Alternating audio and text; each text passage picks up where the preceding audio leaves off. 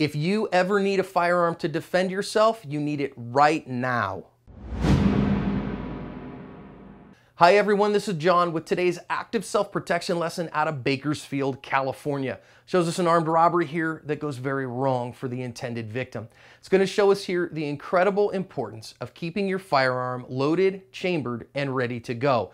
Because this man does not have his firearm chambered, he had the rest of his life, unfortunately, to try to get it ready. The man in the apron is the owner of the store, and his son is sitting down there. And there's two armed robbers in his store, and they've just taken his wallet and are demanding more from him.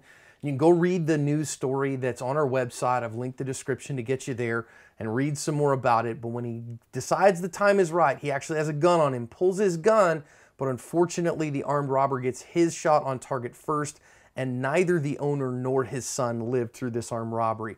We're going to go back and learn some lessons on this one. It's a tragic outcome, and there are some things here that we can work on to make sure that it goes better for us if we're in that situation. First one is compliance. You know, this guy's got a gun on him and he's asking him for his wallet and stuff, and the guy just gives him his stuff. And that's perfectly acceptable if you don't have attitude skills and plan, if you're not ready and you're, it's not your turn in an armed robbery, compliance can be a perfectly valid strategy. And that's what we see the owner doing here, trying to buy himself time. Now, we know he's armed at this point, so he's looking for his opportunity, and that's okay. Comply, give the guys what they want. Now here what you can see is he's looking around. There are multiple armed robbers. If you go read the news story, you can read that. And he's looking at this first one. He looks over to his right, our left, and is like, okay, I don't see that guy.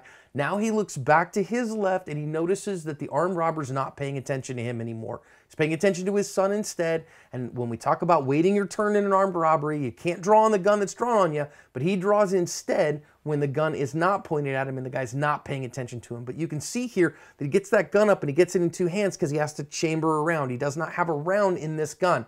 So when he goes to chamber around, you see it turn that gun away. He pushes that gun out with that slingshot and gets it away from his line of fire. And this is why I tell you not to carry a gun without a round in the chamber because it takes him too long. And in that instant, the armed robber is the one who's able to get a shot on him first, and that shot puts him down and starts to incapacitate him. Carry your firearm chambered and ready to go because you have the rest of your life to get your gun in the fight, and you may not have enough time. And you can see here that he's still trying to get his gun chambered because he's completely out of time on this one. Of course, at Active Self Protection, we talked about spiritual fitness all the time because you don't know the last day of your life when it comes. So make sure that you're right with your loved ones. You've said everything you need to say. You're right with God so that you're ready to meet Him in case this were to happen to you. And of course, carry your gun ready to fire, ready to go so that you can be the first one to get the shot on target to cover your asp.